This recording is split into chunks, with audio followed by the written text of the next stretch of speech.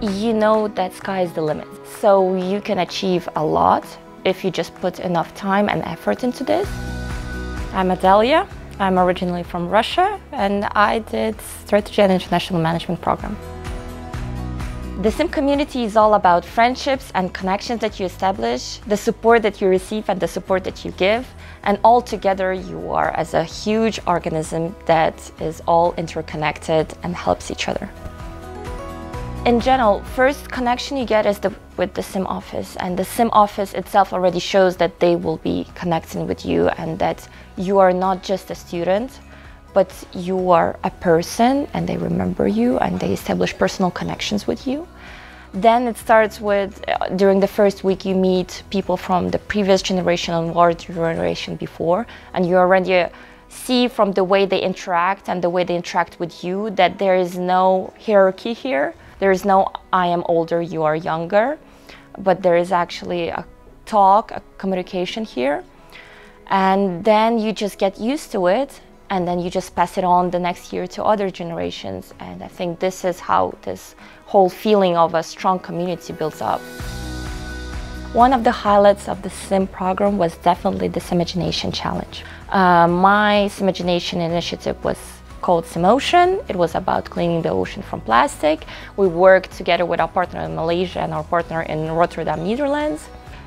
I would say that Imagination in general gives two big, big things. One thing is about learning how to work in a group on something, working from scratch, building it up, a bit like startup way of working and creating your own goals, creating your vision and working to execute that plan, that strategy together. The second part is the social impact part itself.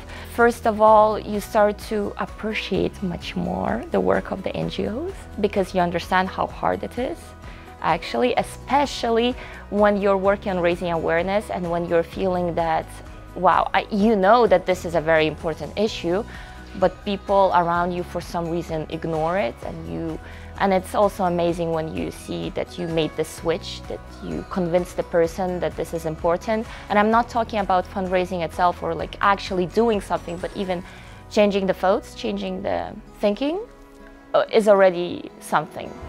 I was amazed how the first generation was supporting us within the whole year.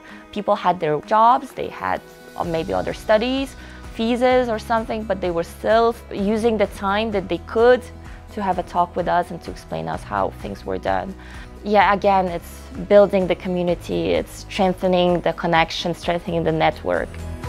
I feel as a much more confident person that knows that I'm not alone in this world and that I have people all over the world that support me if I need that support and I can also offer something to people around me.